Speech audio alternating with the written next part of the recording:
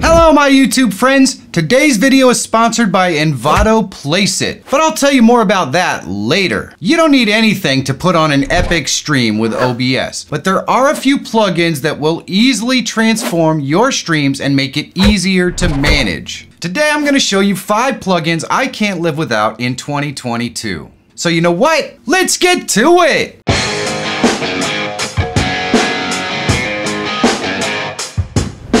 Transitions make a scene flow better and look great. And there are so many ways to use them. The Move Transition plugin adds amazing transitions and so much more to your live stream. As the name Move Transition would imply, the Move Transition allows you to move assets around the screen when you switch scenes. So the same assets can be moved and zoomed in and all that kind of stuff. It's really, really awesome, but it can do so much more. You can actually move sources around a single scene like this and even zoom them in. It is really, really cool stuff. And not only that, but there is another thing that you can do. I use the move transition to create animations in this menu here on the right hand side. So it looks like it's actually animating when it moves from one panel to the next, but in reality, that's just the move transition making it look animated. And it makes things like these menus so much easier. Likes and comments are super easy things that you can do to help push this video to a wider audience. So take a second down below and let me know how I'm doing and hit that subscribe subscribe button.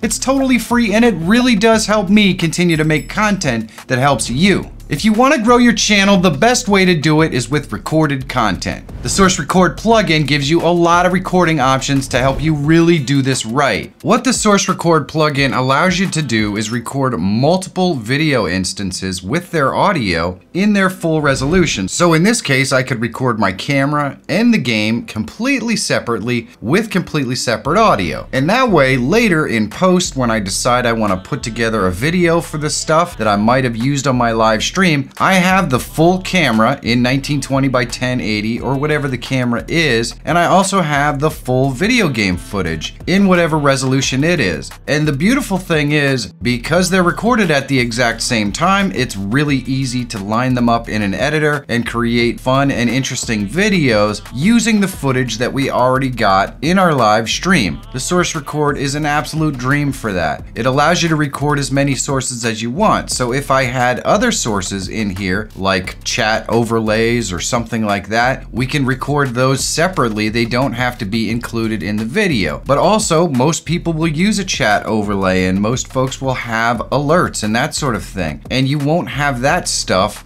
with its audio cluttering up the actual video camera or the game footage so that you can use it later and completely separately without having all of those other distractions involved. It allows you to completely create all original content with stuff that you already did on your live stream. It's absolutely incredible. A video about live streaming tools wouldn't be complete without today's sponsor, Envato Placeit. I use Placeit in every live stream for my wait screen, my countdown timer, my branding bumper, as well as my logo and my channel banners, and even some of the overlay assets. They have everything a streamer could need all in one place. Now I created my logo in just a few minutes by choosing from one of the designs and then completely customizing everything from the color graphics and placement to the text and the fonts. And that logo can easily be added to all the videos that you can build and use in all kinds of different content that you might create for YouTube, like live or recorded. I absolutely love Envato Placeit and you will too. Click the link in the description below and check it out for yourself. Supporting the sponsors that support this channel is a great way to help me continue to make content that helps you. So thanks!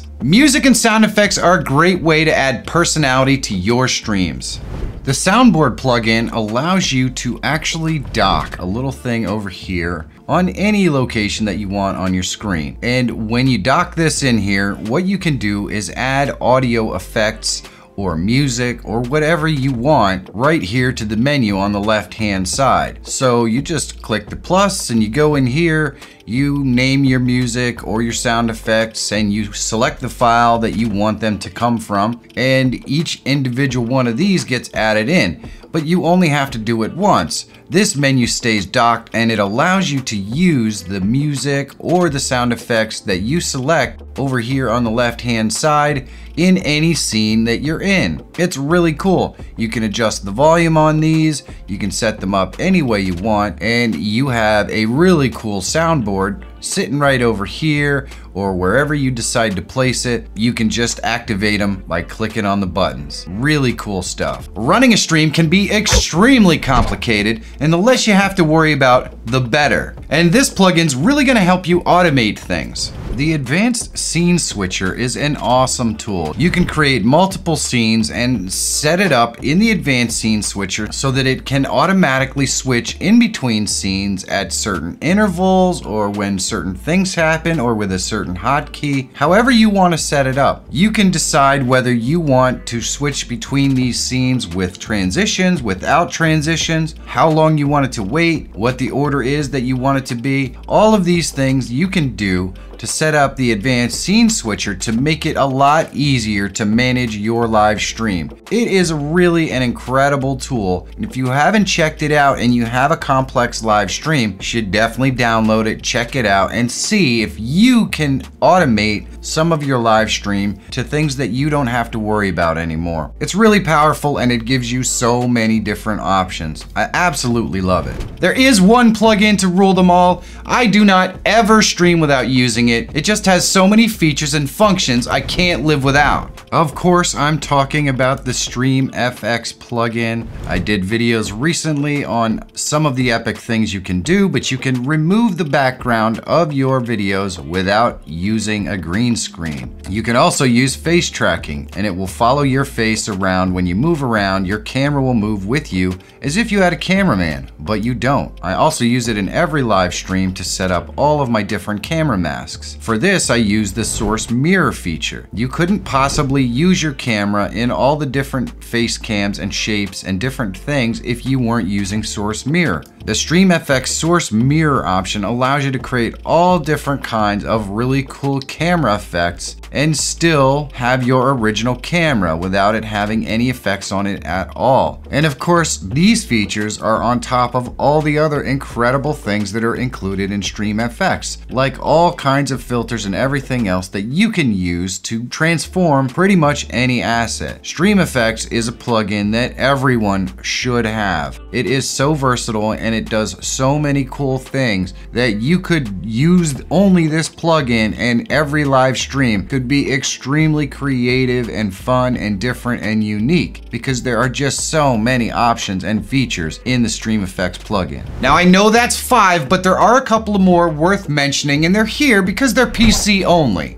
Win Audio is a plugin that allows you to separate out all of your different audio inputs so that you can control the volume separately, decide when something is muted, or anything else. So you can add Discord, game audio, Spotify audio, any other audio that you want, like audio from a web page, multiple microphones. You can have all of these audio inputs in your OBS and control them completely separately. It's a game-changing app if you're looking to do anything complex with the audio in your live stream. I use it all the time to have a producer able to speak in my ear without the stream hearing it and other aspects of what I do. I absolutely love Win Audio. It is a fantastic tool. This final one I want to mention is actually an app that I use on every stream. Twidget is an application that you should have. The two biggest features you're going to find in Twidget that are really easy is the ability to display individual chat that you select on screen to highlight it. And the second thing is the ability to go ahead and create a chat box and even customize it so it looks the way that you want